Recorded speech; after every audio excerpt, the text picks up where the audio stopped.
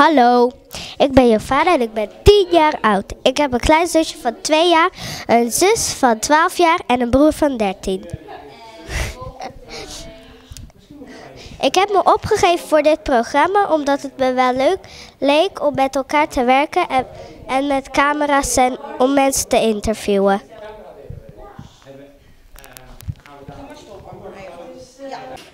Hallo allemaal.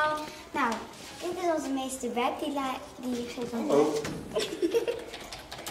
Die geeft les. Ik maak het even af voor haar voordat we weer gaan lachen. Eh, hij is heel goed in woorden, bijvoorbeeld met woorden, hoe bedoel met woorden. Hij vormen en ik vormen en wij vormen. En hij weet ook wat woorden precies betekenen. Ehm, om eerlijk te zijn vind ik dat hij tot dit, op dit moment de, meeste, de beste meester is die ik ooit heb gehad. Hij kan beter uitleggen. En eh, ik snap alles beter. Dus ik hoop dat ik een goed rapport ga halen.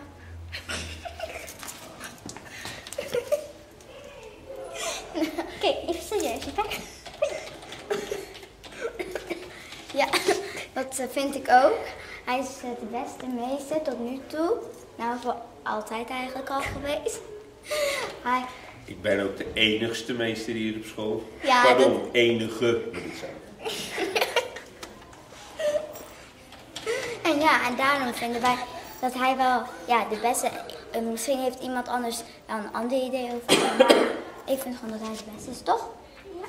En hier staan alle spullen dat hij moet nakijken en zo. Ja. Maar, eh, En daar nog meer. Ja. Maar dat moet je zomaar filmen. ja. Oké, stop. Hartstikke leuk gedaan. actie. Hallo, ik sta hier naast mevrouw Lila en ik ga haar vandaag interviewen. Hallo mevrouw, kan ik u een paar vragen stellen? Tuurlijk, waarom niet mijn kind? Wat vindt u van deze wijk? Nou, ik vind het best wel ehm, fijn. Mijn kinderen vinden het hier echt s- heel leuk. Ze heeft hier heel veel eh, vriendinnetjes. Dus ja, als mijn dochter blij is, ben ik ook. Vindt u deze school ook goed? Ehm, ja, ik vind het best een goede school. Want ze vertellen over, ehm, ja, over Jezus en dat ik best goed. Heeft u nog iets nieuws over deze wijk? Ehm, ik heb gehoord dat er een McDonald's hier is gekomen.